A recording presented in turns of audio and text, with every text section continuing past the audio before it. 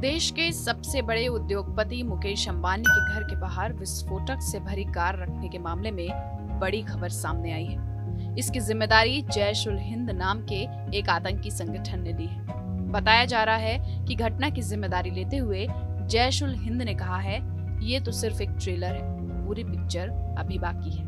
बता दें, ये वही संगठन है जिसने दिल्ली स्थित इजरायली दूतावास के बाहर हुए धमाके की ज़िम्मेदारी ली थी।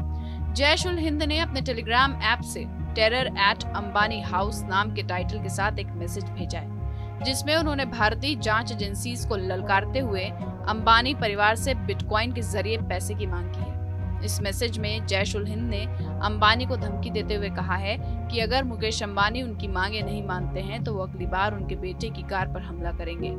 वहीं उन्होंने इस मैसेज में ये भी दावा किया है कि विस्फोटक रखने वाले आतंकवादी सुरक्षित ठिकानों तक पहुँच चुके हैं।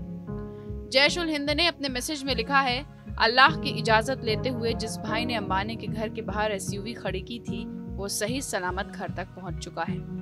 ये सिर्फ़ एक ट्रेलर था, बड़ी पिक्चर आने वाली है। हम तुम्हारे सबसे खौफनाक ख्वाब हैं। हम तुम्हारे आसपास मौजूद हैं। हम तुम्हारे ऑफ़िस में काम करते हैं। हम एक आदमी की तरह तुम्हारे आसपास से गुजरते हैं। हम हर जगह हैं।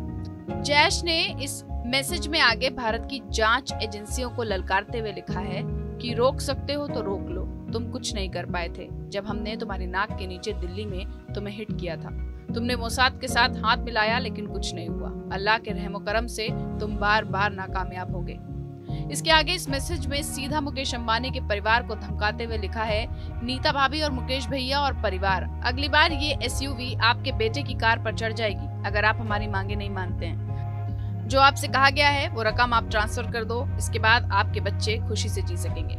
बता दें 25 फरवरी को मुकेश अंबानी के घर एंटीलिया के बाहर से जिलेटिन से भरी कार बरामद हुई थी, जिसमें पुलिस ने बताया था कि ढाई किलोग्राम वज़न की 20 जिलेटिन की छड़ी बरामद हुई है। उसके साथ डिटोनेटर नहीं लगा था, यानी कि वो एक बम नहीं था। लेकिन अगर उसे बम के तौर पर इस्तेमाल किया जाता तो ये बीस छड़े पूरी कार उड़ाने के लिए काफ़ी थी। इसके बाद से सुरक्षा एजेंसियों में हड़कम मच गया था। आपको ये भी बता दें, इससे पहले जैश उल संगठन ने दिल्ली स्थित इसराइली दूतावास के सामने विस्फोट करवाया था।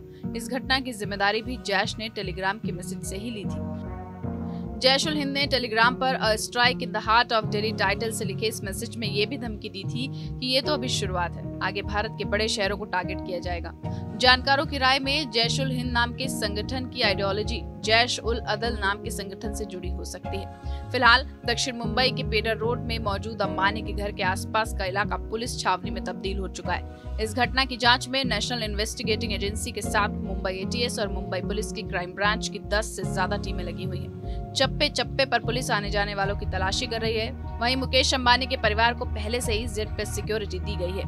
हमारे वीडियो को लेकर आपकी क्या है राय, हमें कमेंट सेक्शन में ज़रूर बताएँ। वीडियो को शेयर करें लाइक करें, बाकी देश और दुनिया से जुड़ी तमाम खबरों के लिए सब्सक्राइब करें हमारा digital channel TV nine Bharatvarsh.